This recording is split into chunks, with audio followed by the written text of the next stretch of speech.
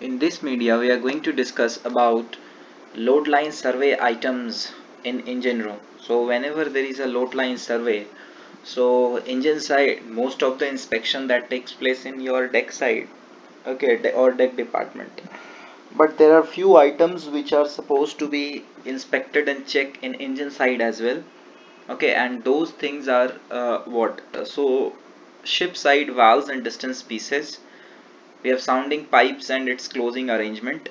Okay so there is a closing arrangement already. I have covered about sounding pipe its regulations and all in a separate video. You can watch that.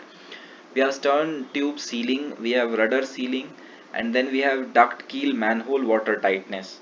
So these are different different items that are checked during an engine room uh, load line survey uh, whenever it takes place in engine room. So one thing is very common and that is prevalent in all those categories is what is there.